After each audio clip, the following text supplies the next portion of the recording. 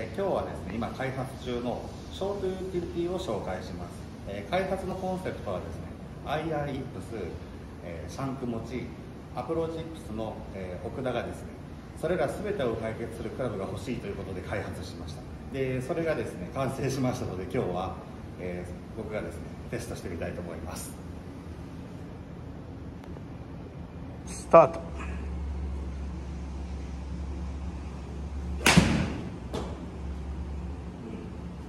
いい感触ですよ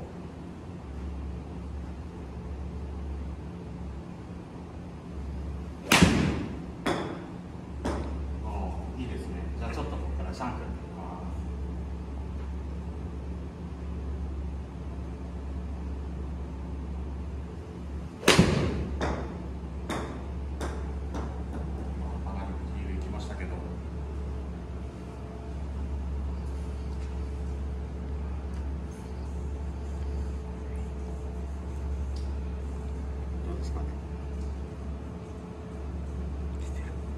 かなりヒール気味で当たってますけど打ち出しはかなりまっすぐいきましたね。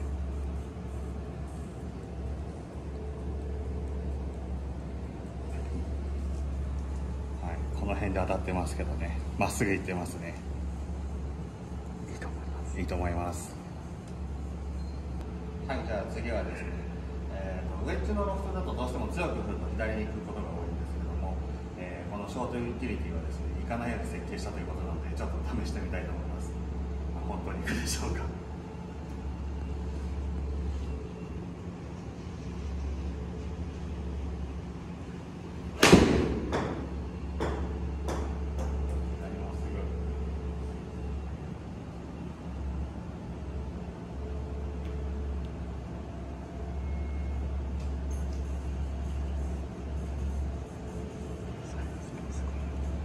だいぶスピンサイドスピンは少ないですね。しっかり距離も出てます。なかなかいい感じだと思います。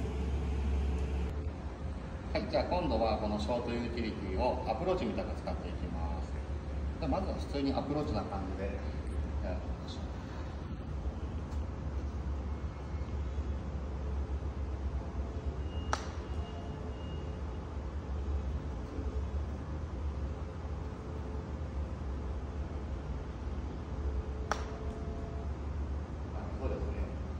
プローチみたいな使うとかなりスピン量が入るので、まあ、ランニングアプローチの中ではかなり使いやすいと思います。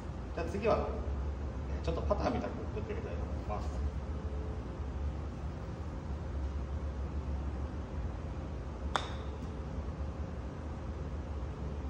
かなりスピンが増えますかね。まあロフトつく分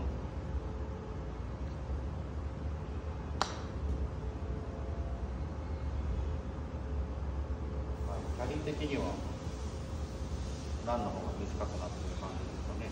もうちょっと強く。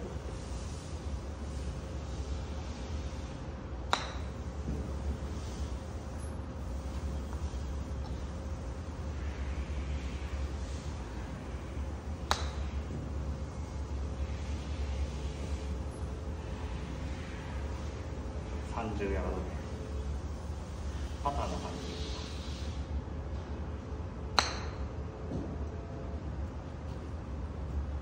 かなりキャリーは楽に出るか直進性はかなり良さそうです。ぜひ試してみてください。